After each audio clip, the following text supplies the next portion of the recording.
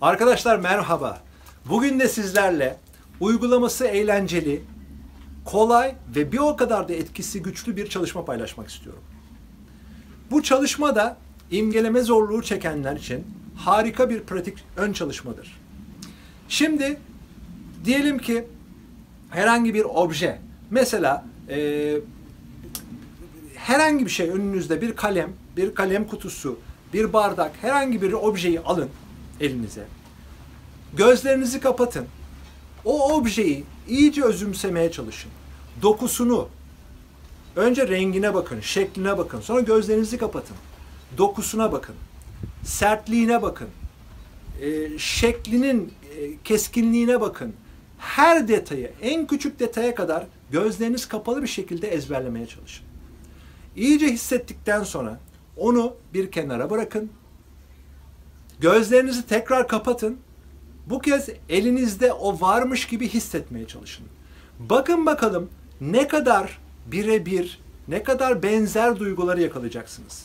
Bunu sürekli yapmanızı istiyorum. Farklı objeler içinde yapın. E, imgelemede zorlanıyorsanız önce bir objeyi özetlemek gerekirse önce bir objeyi alın. Rengini, şek şeklini her şeyiyle önce bir ezberleyin. Tuttuğunuz elinizdeki hissi, dokunduğunuz hissi, dokusunu her şeyiyle ezberleyin. Ondan sonra onu bir kenara bırakın ve bakın bakalım birebir ne kadar yakın o duyguları, o hisleri alacaksınız. Bunu sürekli yaptığınız zaman gözlerinizi kapattığınızda ve imgelediğiniz istekleriniz, rüyalarınızı çok daha rahat bir şekilde gözünüzün önüne getirme, getirebilme şansı doğacaktır. Bu da bilinçaltımıza verilen harika bir komuttur.